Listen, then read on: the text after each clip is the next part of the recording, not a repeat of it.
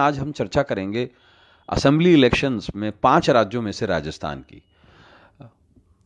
सबसे बड़ा राज्य भूफल के क्षेत्र के हिसाब से।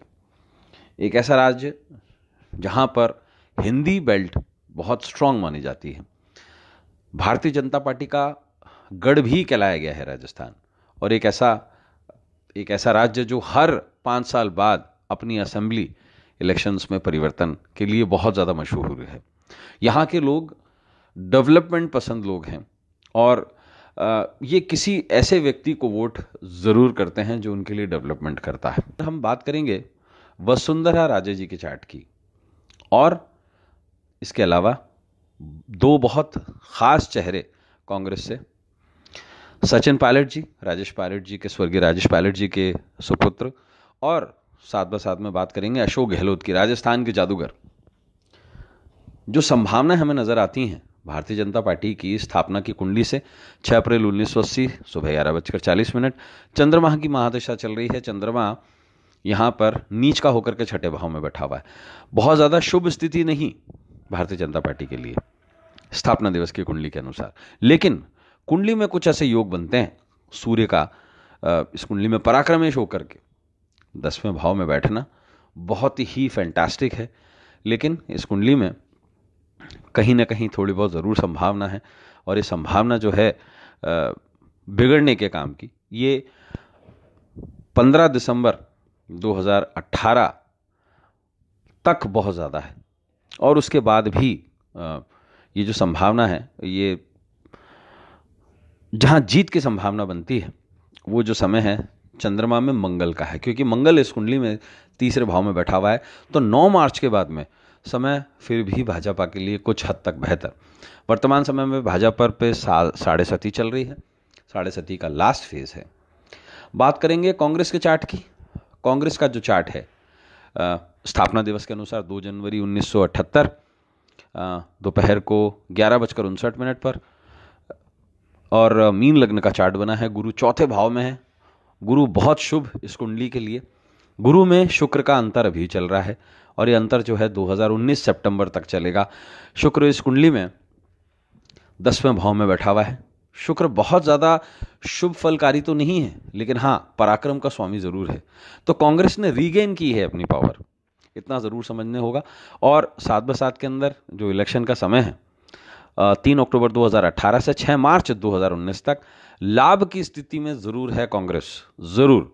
और उसके बाद में 6 मार्च 2019 से लेकर के 27 जुलाई 2019 के बीच में जैसे ही बुद्ध का प्रत्यांतर लगेगा, बुद्ध इस कुंडली में बाधक है तो ये थोड़ी सी समस्यावान स्थिति फिर से कांग्रेस के लिए आ सकती है। लेकिन अभी लाभ की स्थिति ज़रूर कांग्रेस के लिए खुशखबरी है, कांग्रेस के लिए।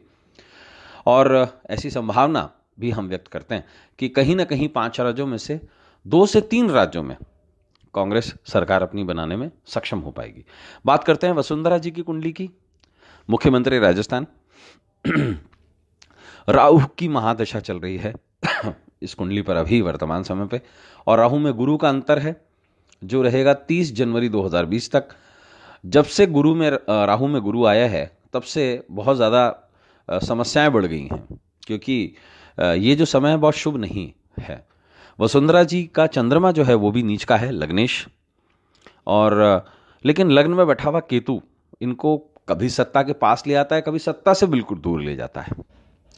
वर्तमान में राहु की महादशा जो ऐसा दिखाती है कि 30 जनवरी 2020 तक राहु में गुरु का जो अंतर है, वो बहुत ज़्यादा शुभ फलकारी नहीं होने जा रहा है, लेकिन इतना कमज़ोर भी नहीं है। गुरु दसवें भाव का विष्कारी कहलाता है। लेकिन वर्गों में देखा जाए तो राहु जो है वो भारणी नक्षत्र में है शुक्र के नक्षत्र में है लेकिन रिज़ल्ट जो है वो शनि के दे रहा है।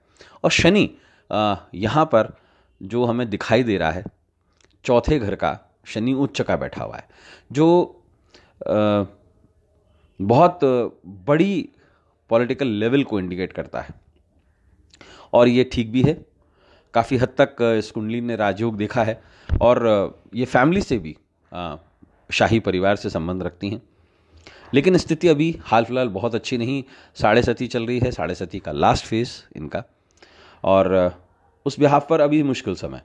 बात करते हैं सचिन पायलट, जो कांग्रेस का फेस रहे हैं और इनकी कुंडली अगर हम डिस्कस करते हैं तो 7 सितंबर 1977 1977 जो इनकी बर्थ बर्थ बर्थ डिटेल्स हमें मिली हैं।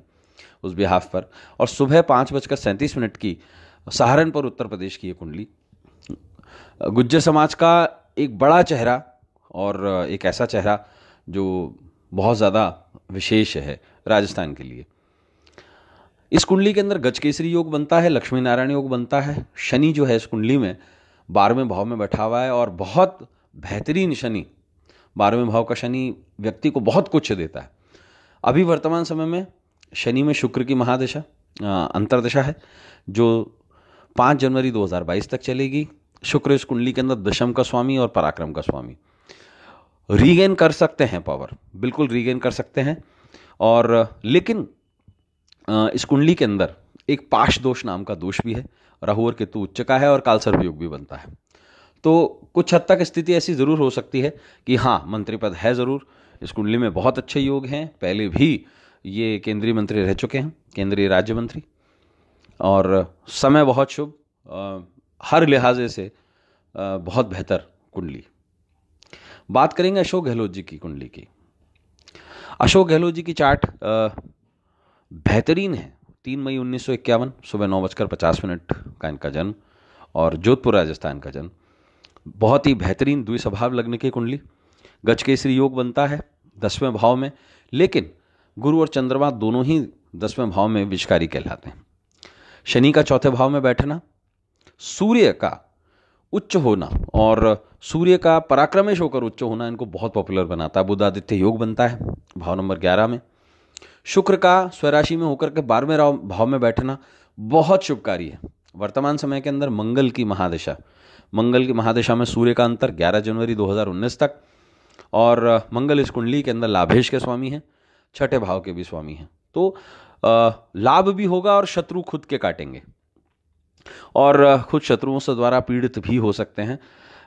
ऐसी बहुत ज़्यादा संभावना है कि जो समय इनका चल रहा है 21 दिसंबर 2018 तक जब इस कुंडली के अंदर ऐसी स्थिति बनेगी, उस समय पे केतु का अंतर आ रहा है 14 दिसंबर 2018 केतु इस कुंडली में पराक्रम के स्वामी है, डी टेन में छठे के बैठे हुए हैं। तो संभावना कंपैरेटिवली बराबर है सचिन पायलट की कि इनकी और सचिन पायलट की कुंडली बिल्कुल बराबर बराबर बोलती है लेकिन अगर इनको कंपैरिजन किया जाए दोनों कुंडलियों को वसुंधरा जी के साथ में तो इनकी कुंडली का पक्ष जो है वो बहुत भारी पड़ता है इसलिए संभावना हम ये लगाते हैं कि राजस्थान में गठजोड़ की राजनीति हो रही है कोई भी गवर्नमेंट शायद फुल फॉर्म में ना आए और अगर आएगी तो ऐसी संभावनाएँ ज़रूर हैं कि कांग्रेस को अपर एज है। आ, कुल मिलाकर सत्ता जो है संभावना ऐसी है कि कांग्रेस के पक्ष में जा सकती है अशोक गहलोत जी और सचिन पायलट जी के कुंडली के बिहाफ पर।